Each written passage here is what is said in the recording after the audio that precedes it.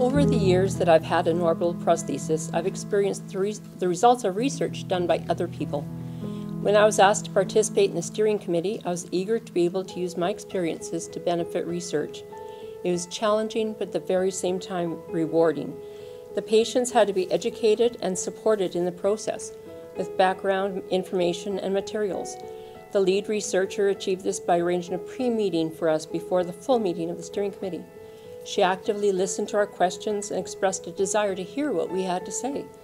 This helped us to gain a sense of what we said had value. It was a steep learning curve and at times daunting. I was introduced to some of the terminology used for the first time in research.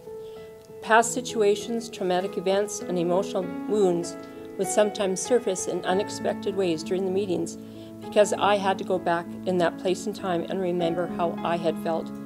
What were the uncertainties of my care? Throughout the review and sorting of the survey responses, our patient views were considered and incorporated. We are treated with both dignity and respect. The steering committee had a broad sense of perspectives, but we all had a common goal, that of setting priorities for head and neck cancer research.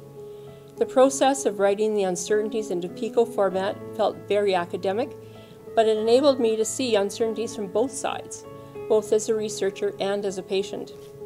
Sharing the workshop day with other patients provided a very strong emotional reminder to me of why we need more research in head and neck cancer and why it is so important.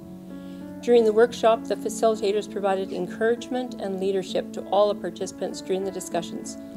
It felt very empowering to have patients and clinicians working together as equals in a supportive framework. The uncertainties that we identified will hopefully be used in research to directly impact the lives of head and neck cancer patients. Thank you.